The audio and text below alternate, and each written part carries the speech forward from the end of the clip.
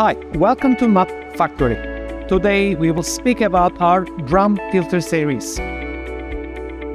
This unit on my right hand side is 100 cubic meter capacity tank type drum filter. I can explain you a little bit about functions and user friendly uh, specifications. As you can see, we have four observation windows to see inside, like what's going on, if the filter is dirty or not, everything is running smoothly.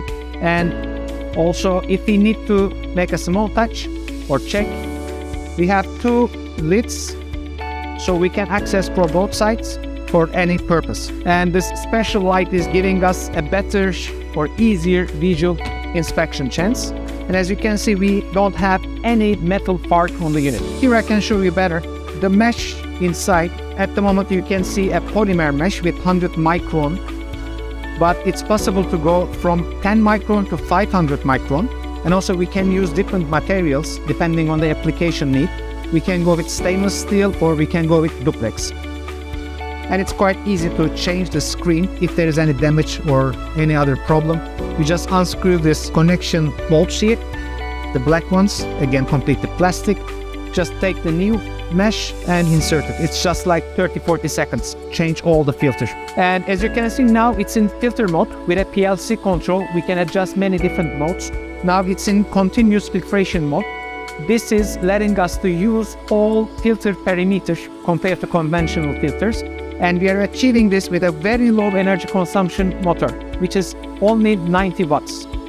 And during the backwash, uh, with a small control panel, its rotation becomes much faster, which it makes backwash between on the dirt level like 20 to 40 seconds. The washing frequency is much less compared to conventional drum filters. So this scenario and this small 90 watt electric motor is giving us a really low energy consumption and really low water consumption. And also tank types we have, it's this one is a flange connection. It's possible to make a channel connection box or we can go with completely frame type. And as a usual MAT approach, we always go metal free, 100% recyclable, environmentally friendly materials. So now we can check the big boy, which is on my left side.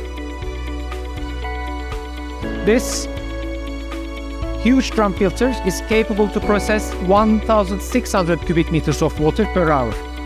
Difference between two of them, this is a frame channel type. Simply, it's a plug and play unit. We take it onto the application point, we drop inside the channel and run the unit after make the electric and uh, backwash water connections. Since the unit is much larger, we are using a different gear set here with this electrical motor, but again the electrical consumption is very low. Here you can see our booster pump, stainless steel, because this unit is for freshwater application.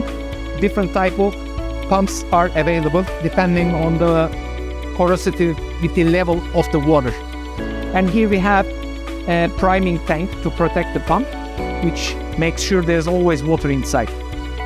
On the top, you can see our control panel. Again, this is uh, SCADA compatible. You can run it, you can adjust it completely on a remote location. We can check it from this side.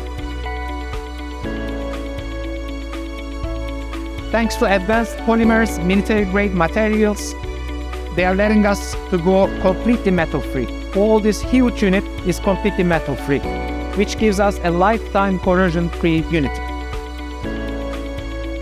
And the trick is, you may use different size of drum filters in your facility from MAT. Our trick, we are using same mesh panels for different size of drum units.